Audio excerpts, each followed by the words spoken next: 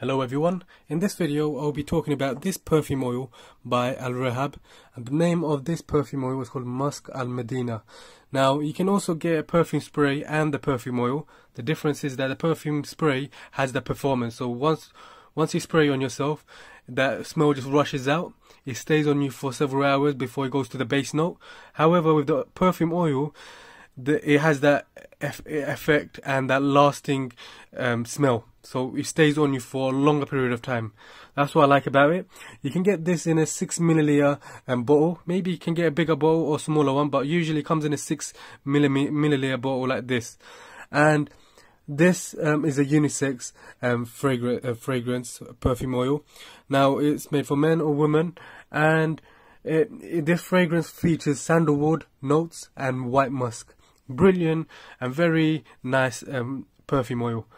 And to use this, what you do is you just, you know massage on your hand like that, and then obviously you just take it and put it on your on your neck, etc.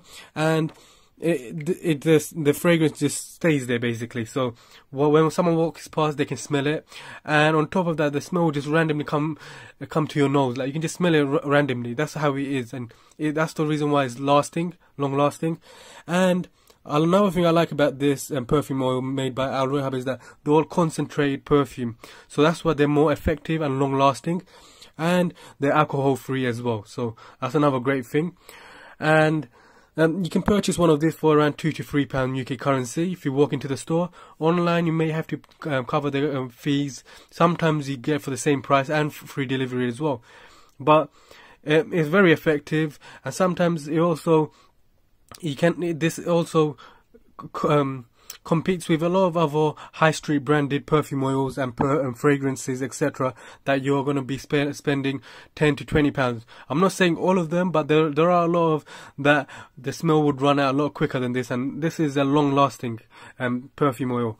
Rehab does make a lot of great perfume um, perfumes and per- per- perfume sprays, perfume oils, etc. So thank you for watching my video. Please do give a like and subscribe.